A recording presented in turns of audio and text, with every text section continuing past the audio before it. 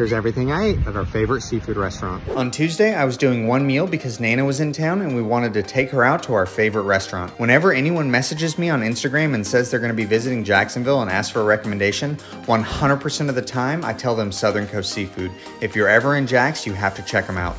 We started with an order of the fried gator tail for the table. If you've never had gator tail before, this is the place to try it. They fry it perfectly so it's not overcooked and tough, and they use the perfect amount of batter so it's not all breading. I ended up having about half of that. We also got the fried pickles and they were good as well. I only had a few of those. Then I got a Caesar salad.